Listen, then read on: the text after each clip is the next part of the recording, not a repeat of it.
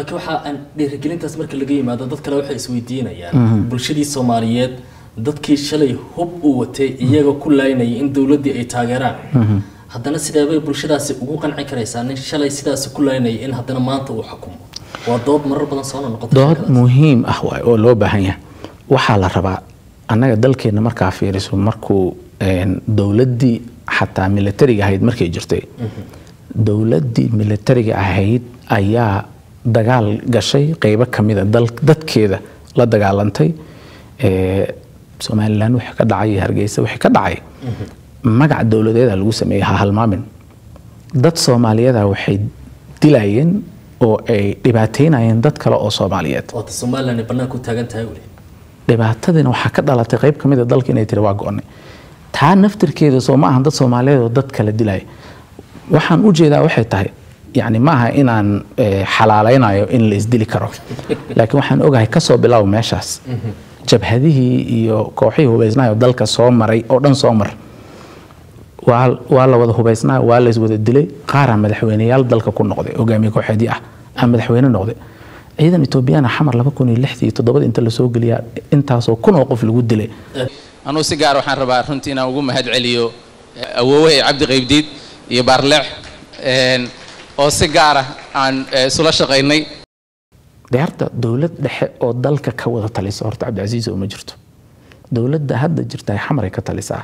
Mas'uulka kismaayo jooga iyo kan baydhabo jooga iyo kan jowhar jooga iyo kan garoowe jooga iyo kan hargeysa jooga iyo kan cadaade iyo dhuusamareeb intoodaas marka inay u heshiiyaan.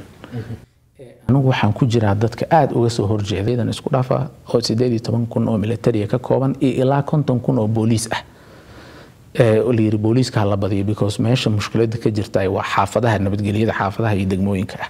Laga heshiinayn amnigaan laga heshiinayn dhaqaala waxba lagama heshiinayo sababuhu aaday u badan yihiin annagu inta anugu dalka jooga cilmi baarisaan ku samayna arrintaas. Inaan bal horta fahamno war ururkan saan soomaali ay sameeyeen oo kharibaadda intaan la-eg ka shaqeeya oo xoog intaan la-eg leh muxuu yahay. Sababuhu marka aaday u badan yihiin laakiin dhowraan rabaa inaan dul istaago. Ani waxaan is leeyahay midda koowaad waxay tahay annaga inteenna kale mabda'a shabaabka iyo mabda'a argagixisanimada aanan aaminsanayn ayaa ku fashilanay inaan la nimaadno awood iimaan leh oo aan uga hortagno maaragta shabaabka. Meelihii awooddaas la yimidna waa ka adkaadeen. Somalilanaa ka mida puntland inteeda badanaa ka mida iyo meelo kaloo badan ayaa dalka ka jira oo intay u babac dhigeen u istaageen ahlu sunna u babac dhigto u istaagto iska dhicisay. Ma ahan marka inaan la iska dhicin karin al-shabaab laakiin cidda iska dhicinaysaa la rabaa tabarteeda iyo inay horta meel soo gaarsiisan tahay. Annaga waxaan ku fashilayna inaan ciidan leh summadii soomaaliyeed xoog qaran leh maaragtay karaamadii loo baahnaa sharaftii loo baahnaa ciidanku waxay naga mudnaayeen ay haystaan inaan siino.